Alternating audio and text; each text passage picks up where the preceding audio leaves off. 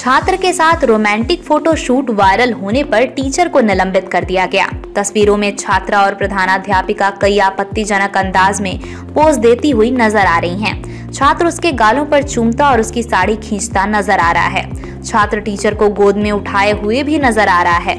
अधिकारियों ने बताया कि चिक्का बल्लापुर ज़िले के चिंतामणि तालुक में सरकारी हाई स्कूल मरुग मल्ला की 42 वर्षीय प्रधानाध्यापिका को हाल ही में स्कूल भ्रमण के दौरान एक छात्र के साथ अनुचित व्यवहार करने के आरोप में निलंबित कर दिया गया है।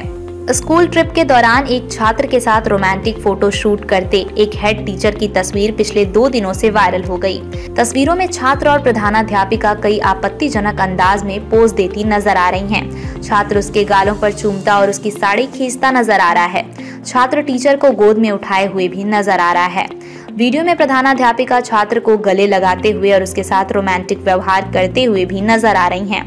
गुरुवार 28 दिसंबर को सोशल मीडिया पर फ़ोटो शूट का वीडियो वायरल होने के बाद चिंतामणि जिला शिक्षा अधिकारी उमा देवी ने स्कूल का दौरा किया और यात्रा पर गए साथी शिक्षकों, छात्रों और रसोई कर्मचारियों से पूछताछ की।